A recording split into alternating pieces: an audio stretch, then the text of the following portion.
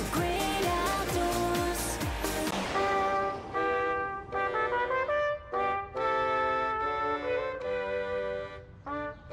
In 1996, our fearless leader turned his back on the Prime Ministerial Lodge in Canberra for some prime real estate. Let's walk. Yeah, nice to meet you. Morning. Yep, I'm power walking Johnny Howard style. After all, I'm on the Prime Minister's home turf, Kirribilli, right on Sydney Harbour. And right now, it's my home too, cause I'm staying in a lodge just down the road. We're almost neighbours. Well, it's not the lodge, but it is a lodge, Glenferrie Lodge, and it's honestly only about a stone's throw to John Howard's place. Not that I'd be throwing any stones with all that security. Might get in a bit of strife. It's really homey here. There's 70 rooms, but it doesn't feel super big, and it's good value for money. Yep, even after you've paid your income tax, Glenferrie Lodge is definitely within just about everybody's budget.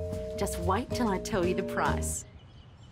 Hmm, not bad at all. For the price, it's got everything you need comfy bed, hot breakfast, bargain. Didn't think I was going to tell you the price yet, did you? There's heaps more to see before that. And seeing the sights is cheap too. No wonder the PM walks everywhere. It's fair to say that this coffee and cake have one of the best views in Sydney. And you can burn off the calories in the cake at the pool next door, or if you fancy, lose the lot on a ride at Luna Park, just over there.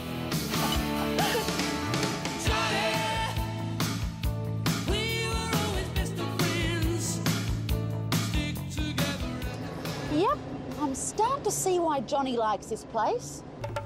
Now, with the money you'll save staying at Glenferrie Lodge, you can splash out for a very liberal feed.